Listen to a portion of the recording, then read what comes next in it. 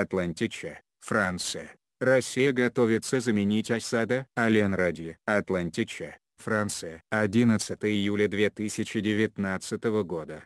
После военного вмешательства в 2015 году Россия всегда думала о том, чтобы сменить политическую власть в Дамаске. Владимир Путин прекрасно знает, что Башар Асад и его семья стали красной тряпкой для международного сообщества. Ни одно решение не может обсуждаться, пока оно в деле. И переговоры вести придется, потому что сейчас ситуация заморожена. На данный момент сирийские правительственные силы удерживают запад страны, за исключением Идлеба, расположенного на северо-западе на границе с Турцией. Сирийские силы, несмотря на поддержку Тегерана и российских военных, не могут отбить этот регион удерживаемый боевиками, поскольку им не хватает технических и человеческих ресурсов. Враг слишком силен, от 30 тысяч до 60 тысяч опытных боевиков окопались среди 2,5 миллионов человек на труднопроходимой местности, и в случае чрезвычайной ситуации его может поддержать Анкара. Действительно, Турция, которая уже приняла почти 3 миллиона беженцев, не имеет возможности принимать новых. Наступление сирийских правительственных сил станет настоящей катастрофой. США постепенно уходят из Сирии, потому что их прямые интересы сегодня сосредоточены на Дальнем Востоке. Турция хочет сохранить безопасность на своей южной границе, сосредоточившись на РПК. Иран обеспокоен санкциями США и растущей напряженностью с Саудовской Аравией и ОАЭ а последние хотят увязываться в это болото. И, наконец, Россия получила то, что хотела – военное присутствие в течение следующих 50 лет, и так далее. Созданы все условия, чтобы начать серьезные переговоры, но без осада. Проблема заключается в том, что предполагаемая Москвой политическая возможность находится под угрозой так как потенциальные кандидаты на замену осаду уже фигурируют в черных списках Запада,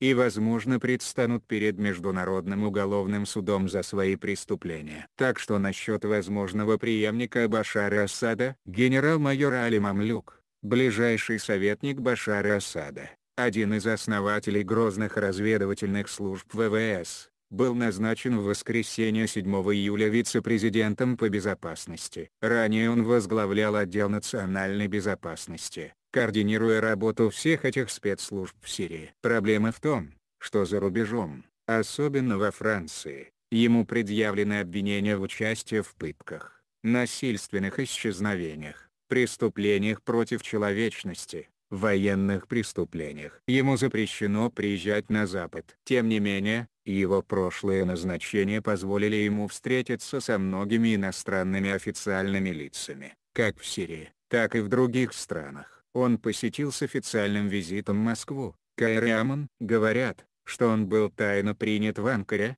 Джидди даже Риме, если только в этой очень рискованной для него поездке не был один из его близких соратников. Помимо этого он якобы встречался с наследным принцем Саудовской Аравии Мохаммедом бен Салманом, который оказал ему радушный прием, хотя все знают что принц пользуется доверием Дональда Трампа. А Трамп уже не в первый раз может обойтись без мнения Европы для достижения соглашения который он может представить как свое личное достижение на следующих президентских выборах 2020 года. Мамлюк является суннитом, хотя некоторые наблюдатели подвергают сомнению его религиозную принадлежность. Обратите внимание, что это также относится к нескольким новым назначениям. Большинство нынешних лидеров являются алавитами, несмотря на то, что суннитов в Сирии гораздо больше. На должность главы Национального бюро безопасности, которую занимал генерал Мамлюк назначен генерал Мухаммед Дибзитун,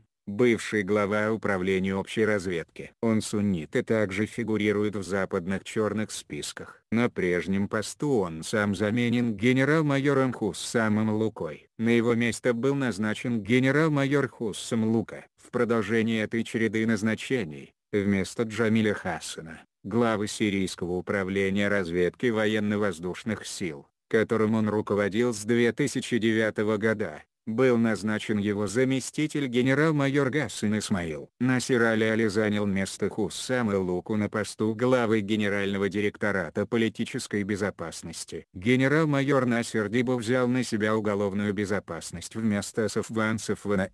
В марте генерал-майор Кифа Муалим уже сменил Мохаммеда Махалу, который ушел в отставку, на посту главы военной разведки. Таким образом, вся верхушка разведки была заменена.